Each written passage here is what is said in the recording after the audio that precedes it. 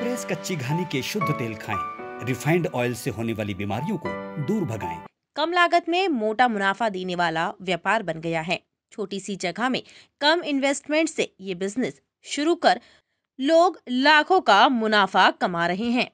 खाने का तेल स्वस्थ शरीर के लिए आवश्यक फैट्स पहुंचाता है। कच्ची घानी से निकले तेल में ये हेल्दी फैट्स मौजूद होते हैं। चक्की या घानी में पारंपरिक तरीके से बनाए जाने वाले तेल को ही कच्ची घानी तेल कहते हैं। ये तेल कोल्ड प्रेस्ड प्रणाली से तैयार किए जाते हैं। अब कोल्हू की जगह मशीनों से चलने वाली कच्ची घानी की यूनिट पंद्रह गुणित पंद्रह जैसे छोटे से एरिए में लगाई जा सकती है। सरसों का तेल निकालने के लिए कच्चा माल सरसों के दाने ही होते हैं। काले, सफ़ेद और पीली सरसों के दाने या उनके मिश्रण से तेल निकाला जाता है। 100 किलो बीज से तकरीबन 35 किलो तेल निकाला जा सकता है। इस यूनिट को लगाने के लिए घानी एक्सपेलर और फ़िल्टर प्रेस की ज़रूरत होती है। कच्चे माल समेत 10 लाख रुपए की लागत से यूनिट खोली जा सकती है।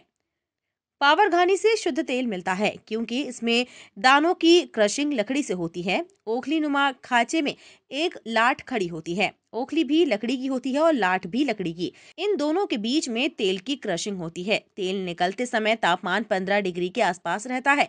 इस कारण से तेल के पौष्टिक तत्व नष्ट नहीं होते हैं। घानी में एक बार में 10 किलो सरसों का तेल निकाला जाता है। उसके बाद खाचों में बची हुई सरसों के केक से और भी तेल निकाले जाते हैं। केक में आठ से 10 प्रतिशत तेल और होता है। इसे निकालने के लिए एक्सपेलर का इस्तेमाल किया जाता है। घानी और एक्सप्लेयर से निकाले गए तेल को माइक्रोनिक फ़िल्टर प्रेस से छानते हैं, जिसके बाद शुद्ध तेल मिलता है। अब ये कंटेनर्स, बॉटल्स या टेट्रा पैक में पैकिंग कर बाजारों में बेचने के लिए तैयार है। एक्सपेलर में सबसे आखिर में राई की चमड़ी बचती है, जो जानवरों को खिलाने के लिए खली के रूप में प्रयोग की जाती है। इसे भी पशु आहार के रूप में बेचा जाता है। कच्ची घानी से सरसों के अलावा मूंगफली, नारियल, असली तिल और करड़ई का तेल भी निकाला जा सकता है। आकर्षक पैकिंग के बाद इन्हें घरेलू विदेशी बाज़ार में बेचा जाता है। केंद्र और राज्य सरकार के कई विभाग व्यवसाय खोलने के लिए लोन भी मुहैया करा रहे हैं।